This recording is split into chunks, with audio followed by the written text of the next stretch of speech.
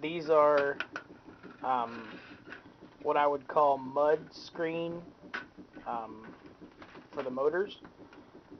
Um, I've put a couple posts on um, the forum RC Sparks about these.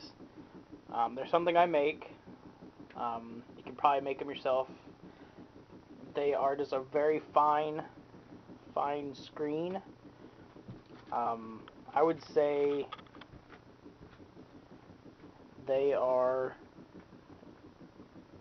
well, they're so fine that a, a desktop staple will not uh, go through the holes. So they're they're pretty fine, but you can still, as you can see, see through them.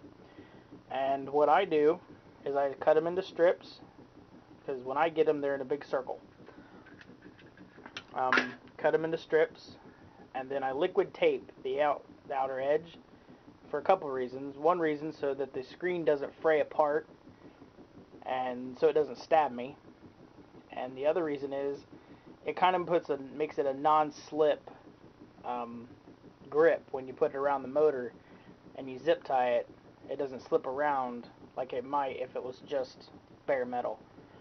Um, I've made a few of them, different sizes, different lengths, different widths, just to see what you know what the best um, the best performing uh, piece is. I have one on my axial dingo, as you can see right there. Um, works really great. Instead of pantyhose, you know, having the possibility of catching on fire, um, this won't catch on fire because it's metal.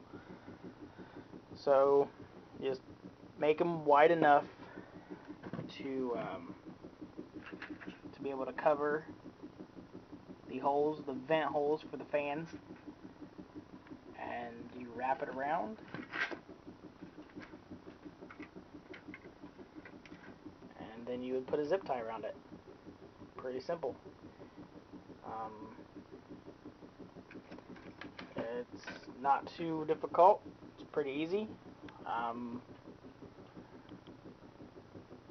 I just don't know where to find the other a screen like this that is available to the public because like I said I get these at work um, so I've heard maybe a pool filter screen um, might work.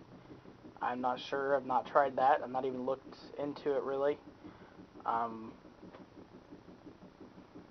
but yeah, hopefully this helps you guys out with an issue or you know having to take on and off the pantyhose or whatever it is. This is more of a permanent solution. Uh,